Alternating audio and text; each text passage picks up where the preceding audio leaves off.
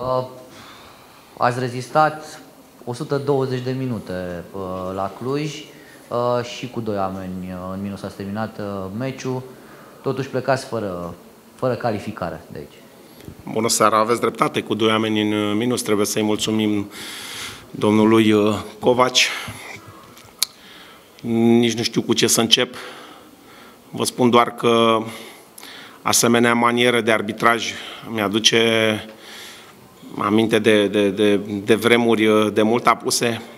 Un asemenea măcel, un asemenea arogant nu, nu mi-a fost dat să văd, nu întâmplător ne-a, ne-a fost frică de, de delegarea pe care au uh, hotărât-o uh, Federația Română de Fotbal. Mă repet, o manieră golănească de arbitraj, asemenea cartonașe, uh, faze similare cântărite cu, cu, cu altă măsură, deviere, scăpăm singur, cu, scăpăm singur, avem oportunitate de a marca, ne oprește, întoarce faza. Deci, nu știu, dânsul cred că are impresia că poate să facă ce, ce, ce, ce dorește, numai că se joacă cu, cu destinul nostru. Se joacă cu destinul nostru. Ar trebui să se oprească sau să fie oprit. Asemenea aroganță, la un moment dat ne spunea dacă nu mai putem să ieșim afară de pe teren. Păi asta e treaba dânsului. Nu vă supărați pe mine. Asemenea cartonașe, asemenea faze interpretate cum sunt interpretate, cred că ar fi cazul să, să se oprească. Ați cerut totuși să iasă echipa de pe teren la un moment dat? Nu am cerut, dar a fost un, a fost un moment tensionat.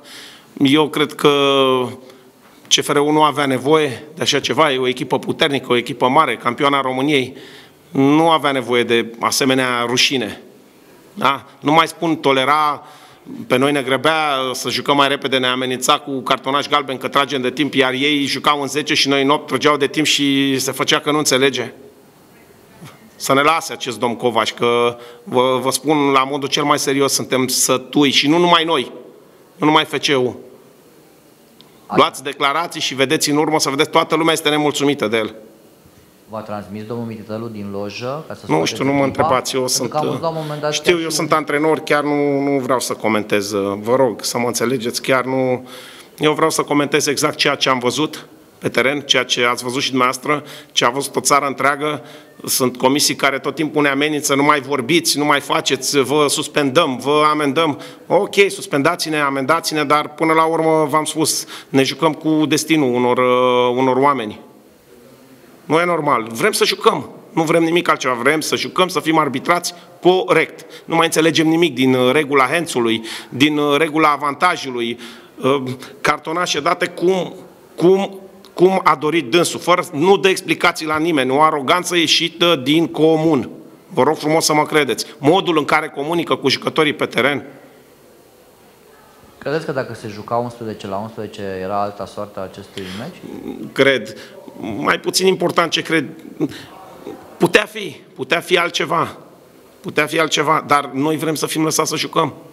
N-am venit, am venit să jucăm, n-am venit să tragem de timp, să stăm pe jos, să jucăm, am jucat, am venit să câștigăm, dar din păcate acest, uh, acest domn nu, nu, nu, nu, eu cred că trebuia să câștige o singură echipă cu tot respectul și aia a fost uh, CFR Cluj, asta seara. Dar cine n-a vrut? Păi nu știu Să cine meargă n-a vrut. Craiova mai departe în cupele europene. Nu știu, probabil uh, deranjăm și noi și patronul și nu știu, probabil deranjăm pe cineva, că încercăm să spunem adevărul și e bine să, să fim diplomați.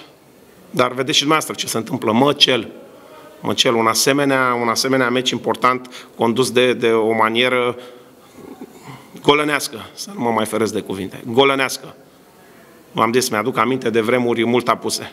Ce a pățit colegul dumneavoastră din staff? A, nu știu să vă zic, nu, chiar nu, m-am fost nervos și chiar nu, nu, nu am luat, uh, nu știu nimic, n-am.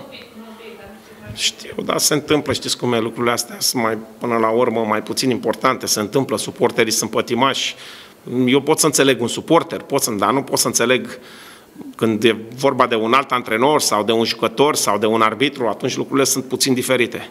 Iar astăzi vă spun și vă repet, a fost măcel, din punctul meu de vedere. Și al clubului, și al patronului și al jucătorilor. Și ne menținem uh, aceste, afirmații cu orice risc, că până la urmă nu ne mirăm dacă cineva o să ne suspende sau ne vor amenda, până la urmă probabil asta se dorește. Dacă aveți întrebări, și eu vă mulțumesc, seara bună. Un, o calificare chinuită, adică un meci uh, greu, cam cum a fost o sezonul, nu? Da, corect. Adversar foarte bun, am zis înainte de meci, cred că la anul se vor bate la podium cu jucătorii care au. Au arătat foarte bine în acest sezon și s-a văzut. E clar că noi am jucat acum patru zile, ei acum șase și s-a văzut lucrul ăsta. 63 la meci. Sunt convins că e record în Europa și poate și în lume. 63 de meciuri într-un sezon. S-a văzut pe jucătorii mei acest lucru. Chiar nu mai puteau. Și prelungirile, vă dați seama. Și Camora, care a jucat acum câteva zile după accidentare și uh, Boateng și Krasnic după accidentare, foarte greu a fost pentru noi.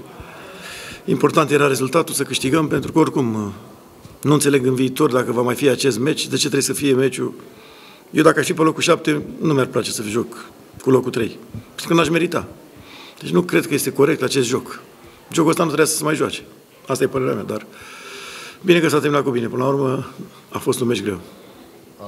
Când nu s-a marcat până în minutul 90, ce a simțit? Că da. Am avut ultima fază, în ocazia cea mai mare, Maliza și cu Birlice, dacă marcau, puteam să spunem și noi că am avut noroc odată, am marcat în ultimul minut, poate la prima ocazie mai clară clar că a fost un meci foarte, foarte greu și căldura a fost, cred că, primul meci al lui CFR pe căldură în acest sezon.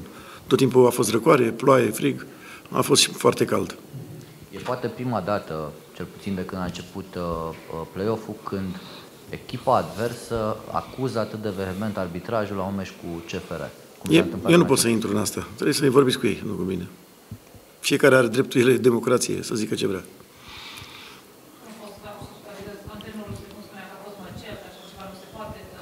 Și eu, și eu am spus la fel despre CFR. Și eu am spus de CFR același lucru în toate nouă meciuri. Fiecare poate să zică, sau 10. Poate să zică fiecare ce vrea. Eu ce pot să comentez dacă ei au zis? Și problema lor, dar să așa de obosit, vă rog eu frumos, dacă mai aveți întrebări. Cu ce rămâneți după acest sezon? Ce să rămân? A fost un sezon greu, foarte multe meciuri. Am ajuns în primăvara europeană, în semifinale de cupă și locul 3. E clar că se putea mai bine, dar nu suntem mașini, nu suntem roboți și s-a văzut că n-am avut un lot cum aș fi vrut eu. Din păcate, au fost dați prea mulți jucători și s-au plecat. Gen Malele, Roger, care au plecat, Bentacur, jucători care, Giogancici, care nu i-am dat, au plecat pur și simplu fără acordul meu. Și acest lucru s-a văzut. N-am avut un lot așa de puternic cum mi-aș fi dorit. Dacă aveam un lot mai puternic și arbitraje corecte, cred că uh, am fi jucat uh, până în ultima etapă pentru a câștiga campionatul și cred că meciul cu Farul era decisiv câștigarea campionatului. Dar Asta, dar acum e la cald. Mai o să mai avem timp să vorbim, la, să mă odihnesc puțin și să vorbim. Important era să câștigăm azi și CFR-ul să meargă în Europa și sunt convins că CFR-ul va face față în Europa și va demonstra încă o dată cine e cea mai bună echipă în Europa. Când discutați cu domnul Varga? Mâine. Adică mare sunteți decis ce o să facă? Vorbesc cu dânsul. El trebuie să decide, nu eu. El e patronul. Dar N-am văzut că vorbim mâine, acum nu pot să-ți răspund. Normal că eu ți zis că vreau să rămân. A, da, eu... Da. Eu vreau să rămân, da. Dar ultimul cuvânt la eu împreună cu patronul vreau să văd și ce avem pentru anul viitor, ce obiectiv, ce jucători, ce... Trebuie să avem o discuție mai lungă, nu? Da. Da, pe, da. Da. Da, nu numai asta, că cred că și chiar dacă pierdeam domnul Varga mă dorea, dar Trebuie să vedem în ce condiții.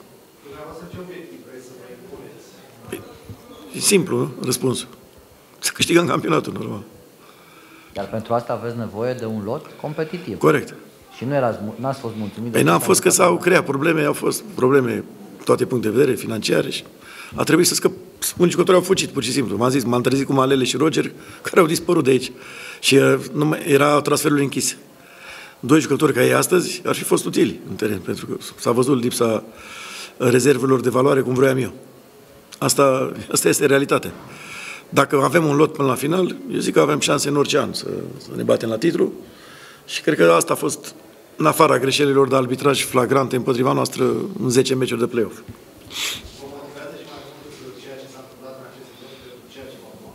Eu sunt mereu motivat, mereu stresat, mereu pregătit, nu neapărat ce s-a întâmplat. Vă dați seama, dacă era o înfrângere, era mai greu pentru mine și pentru echipă, așa uh, știm că vom fi cap de serie în Conference League și sunt șanse mari să ajungem în grupe, ceea ce asta va fi obiectivul și câștigarea campionatului. Nu, nu mai pot să joc. Terminat. Doar genunchi, spatele. De-abia pot să mai merg, mai ales să mai alerg. Aș fi vrut. Dar uh, cred că o să merg la meci dacă, dacă sunt la Cluj. Depinde când termin uh, discuția cu patronul, aș vrea și eu să am, v-am zis, câteva zile libere, că toți cei care vin poate au avut ceva zile libere. Eu n-am mai avut o zi liberă și nu mai știu cum arată. Ne mai dați voi o declarație după discuția? Dacă sunt la Cluj și tot e ok, da, normal. Bine? Să fiu uh, fără fotbal o perioadă. Da, puteți, fără fotbal. O perioadă. 7, 8, 10 zile, că să nu mai văd meciuri, să nu mai stau să studiez, să stau și eu puțin. uh, O să ajung și pe la, nu știu, să vedem pe unde pot să ajung. N-aș vrea să zic, că nu e bine, dar sper să ajung și undeva, că nu în România, să plec puțin. Your coaches? Bien sûr. Bien sûr, c'est une grosse déception aujourd'hui.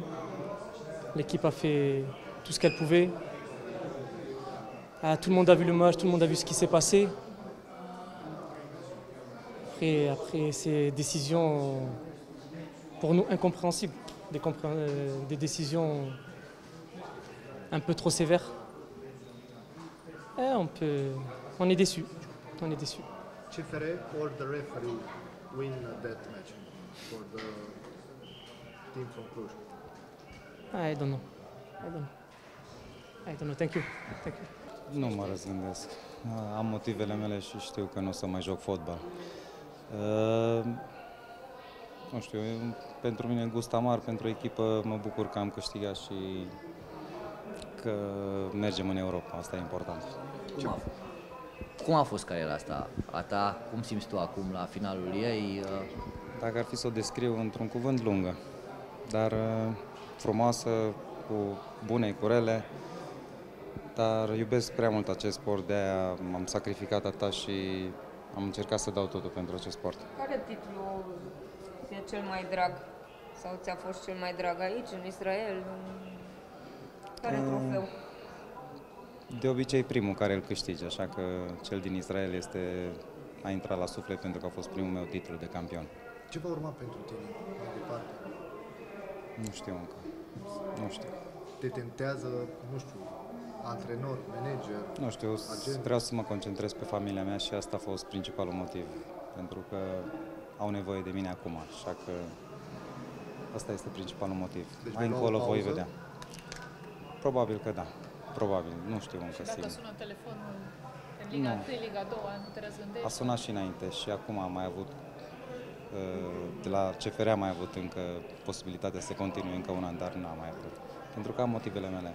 Dar fizic mai duci, adică nu e o problemă. Cred că da. Sau de sănătate. Nu, cre, nu cred că mi-am făcut chiar de rușine. Dacă simțeam lucrul ăsta, cred că mă lăsam de mult. Dar eu cred că am încheiat o, o, carieră, o carieră cu capul sus și mă bucur că, în primul rând, că sunt sănătos și că s-a terminat frumos. Nu ți s-a propus uh, o funcție la ce antrenor secund?